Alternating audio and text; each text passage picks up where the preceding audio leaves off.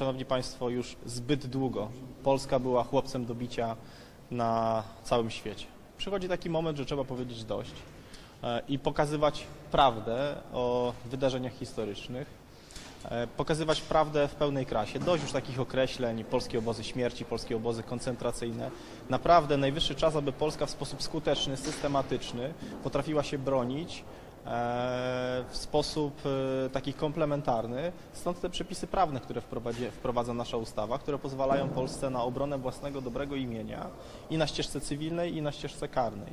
E, Jest to o tyle istotne, że po pierwsze, chodzi o prawdę i szacunek dla tych osób, które zginęły w imię zasad i wartości, dla tych Polaków, które, którzy zginęli w imię zasad i wartości, ale chodzi o coś więcej.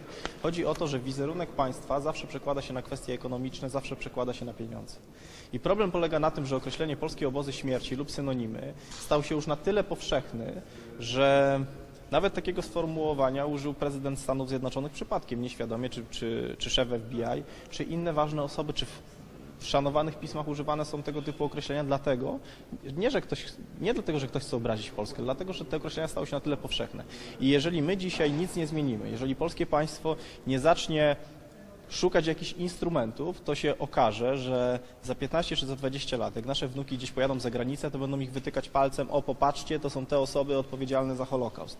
To jest po prostu nieuczciwe i niesprawiedliwe i przychodzi taki moment, żeby, żeby po prostu powiedzieć dość. Jest też dobry moment na to, aby powiedzieć, że y, o wielu kłamstwach związanych z tą ustawą.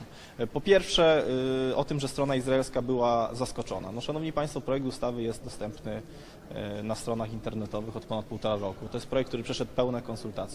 Blisko rok czasu trwają nasze, bieżąca, nasze bieżące kontakty z ambasadą Izraela i nawet przez minutę nikt z ambasady Izraela nie wspomniał, że jest problem jeszcze z ustawą o IPN. No to jak my mieliśmy się domyśleć? Ani nam, ani opozycji, ani dziennikarzom, nikt z ambasady Izraela nie, nie, e, nie mówił, że może być jakikolwiek problem związany z tą ustawą. No to skąd mogliśmy o tym wiedzieć? Dlatego czasem, jeszcze raz to podkreślę, czasem e, my popełniamy jakieś błędy. Zdarza się, że polska polityka zagraniczna, czy, czy nasze rządy, czy inne rządy popełniają błędy. Ale w tej sprawie musimy przyjąć do wiadomości, że padliśmy ofiarą e, wewnętrznej gry po, politycznej w Izraelu i dlatego e, chciałbym, żebyśmy zbudowali konsensus wokół, ok- wokół określenia polskie obozy koncentracyjne, polskie obozy śmierci, e, ponieważ widzę, że to jest bardzo łatwo wykorzystywane przez, opozycji, przez opozycję w walce politycznej, pomimo, że opozycja półtora, od półtora roku również zna ten przepis i nie proponowała innego zapisu. Dlaczego? Dlatego, że ten przepis jest e, dokładnie taki jak e, przepis dotyczący kłamstwa oświęcimskiego już w polskim kodeksie karnym. Dlatego